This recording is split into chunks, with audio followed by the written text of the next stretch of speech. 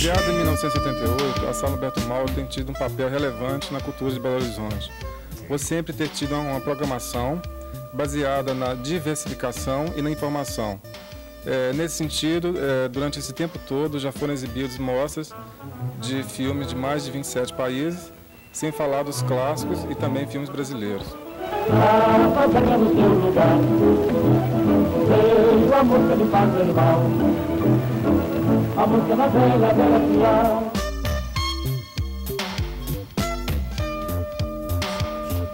A sala ela não foi projetada para ser um cinema, ela foi adaptada. O que nós fizemos foi apenas tentar é, solucionar as principais deficiências que eram no sistema acústico, no sistema de ar-condicionado central, que não havia, e melhorar as condições de projeção cinematográfica, no som e na imagem.